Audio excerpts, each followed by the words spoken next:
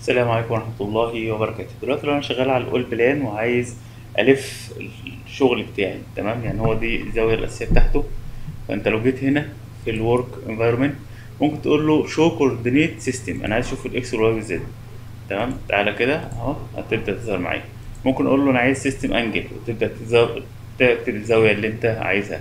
ممكن تيجي هنا وتقول له rotate طب أنت عايز تلف في أنهي اتجاه فيهم؟ في في ال- أنهي زاوية فيهم فتبدأ تكتب سواء في ال x في ال y في ال z زي ما أنت عايز. ممكن تقول له مثلا خلي ده أهو يلف لك ال- المبنى كله بالشكل دوت.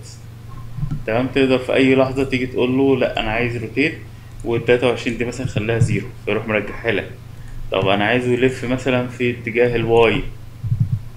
تمام؟ فيبدأ تت- بيقول لك ابدأ بقى ظبط فتبدأ تخلي الزاوية اللي أنت عايزها.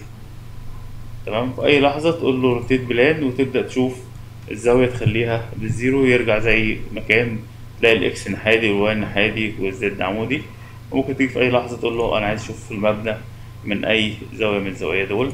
براحتك. ممكن تقول له أنا عايز أعمل zoom ممكن تقول له أنا عايز أعمل zoom all للمشهد كله. بالشكل دوت ممكن تقول له أنا عايز navigate مود بحيث إن أنت تقدر تحرك المبنى بالشكل دوت وتخرج من الأمر بإن أنت تيجي هنا وتدوس تاني.